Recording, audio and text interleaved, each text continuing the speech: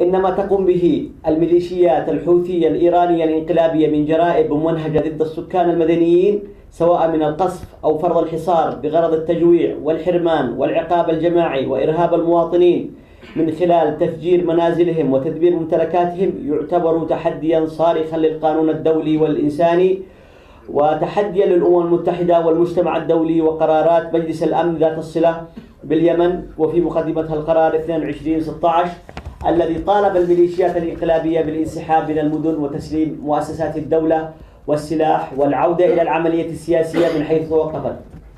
جرائم الحرب التي ترتكبها الميليشيات الحوثية في حجور لن تسقط بالتقادم وسيأتي اليوم الذي يحاسب فيه كل من شارك في هذه الانتهاكات الصارخة التي تجاوزت كل حد.